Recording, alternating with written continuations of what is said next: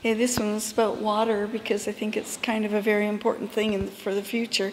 And so I've made lots of actually uh, sculptures based on the preciousness of water, holding it in your hand, or in this case, putting a bit of water there, and then also the just the feeling and the movement of water. And that that uh, movement of the water in the background is a shape that I use often in, in my glass as well. It just it's a one of the six earth energies that I've been playing with for a long time. I just think they're important too. The energies that produce a spiral in the way a fern grows is, and that's a, the spiral motif, and it's everywhere in nature. And so I like to focus and simplify it and make sculptures out of it. And um, this one is more about um, clashing cultures. In this case, the Buddhist and the Greek and um, I just think that they're so different in in the way that they are a culture, and so I think they clash. There's one's quite different ideas.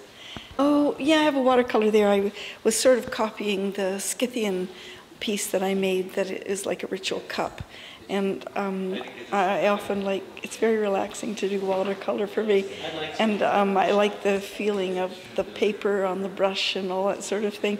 It's kind of um, tactile and um, and easy. Watercolors are what I travel with because it is so easy to to take somewhere and show still color as well as drawing. Looking at these uh, paintings that you have here, uh, can you tell us a little bit about uh, the technique that you use with for them? The, the, what I do is I start with mulberry paper, which is very thin, like rice paper, and I do a drawing and try and get a good convincing drawing down, and then I work with thin layer of acrylic, like a kind of a watercolor, into it makes the paint the paper a little stronger. And as I build up that painting, I, I start to crush the paper and fold the paper and create kind of a topography. And then I take little Chinese brushes and paint on top of that.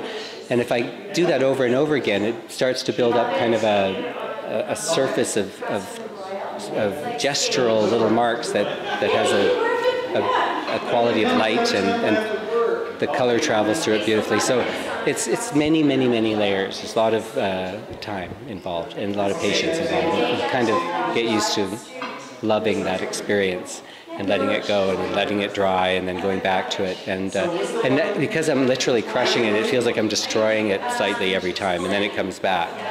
And that whole process is fascinating. But then I mount it to wood, and that changes everything. It makes it solid. It goes from being a thin, ephemeral thing to something solid, and I use beeswax then on top of it, and I can carve into the beeswax and tint it and add color to it. And the final surface actually is beeswax with, uh, with pigment. Another question for you is uh, can you talk a little bit about this um, series, The Heroes and, orphan. Orphans? Yes.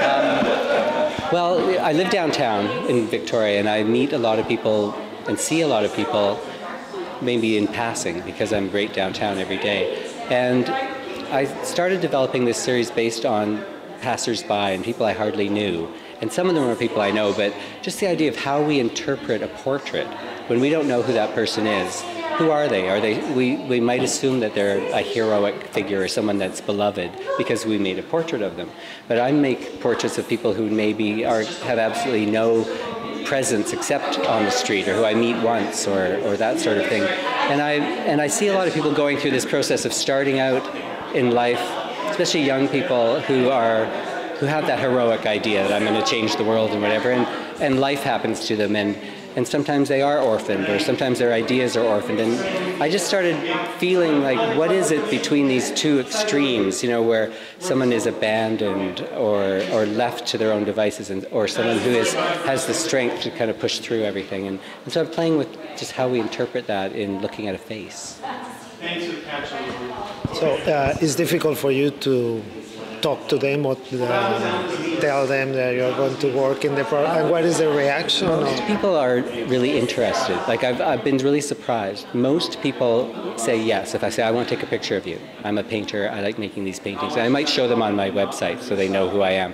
That I do a lot of paintings of faces. And most people are really happy about that. They don't mind they may I may never see them again. They may never see the portrait, which is really fascinating. A lot of some people I will never see again, You know, they're passersby, and sometimes I take pictures like when I'm traveling, and I, I, I don't even know them. They're just literally a, a person in a crowd. And so that's that's a whole other thing. I have to figure out who is that person. So I go through the processes. Okay, that look and that feel. What is that? What does that mean to me? And so there there are times when I know people really well, or friends or fellow artists. Um, or I ask them what they do. That's the one thing I might say. And a lot of the people I've photographed are musicians and street musicians who are actually there in public, which is a little easier to photograph because they're available and they know they're being photographed. Um, but I might ask them what they do, and they might say, "Well, I'm I'm a, I'm a, a construction worker or something." And you go, "Oh my God, you look like a university professor, but you're a construction worker." And it's that kind of stuff where we just don't know until we dig a little deeper. And when you look at a portrait, unless it says, you know, Viscount so and so, you don't know who it is. It could be a, you know, a, a field worker, it could be a prince. And so we look for clues. And in my portraits, I'm, I try to get up close, so there's not a lot of clues. You really have to look into your own interpretation of that face and that, that glance or that way the light is hitting or something will suggest it. How how big is going to be the series? Um, Well, it's interesting because the series is growing. Because they started out as little pieces, then they got bigger, and now they're getting bigger. So they're growing in numbers and in size.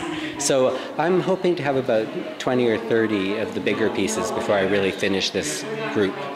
I've got quite a few on the go.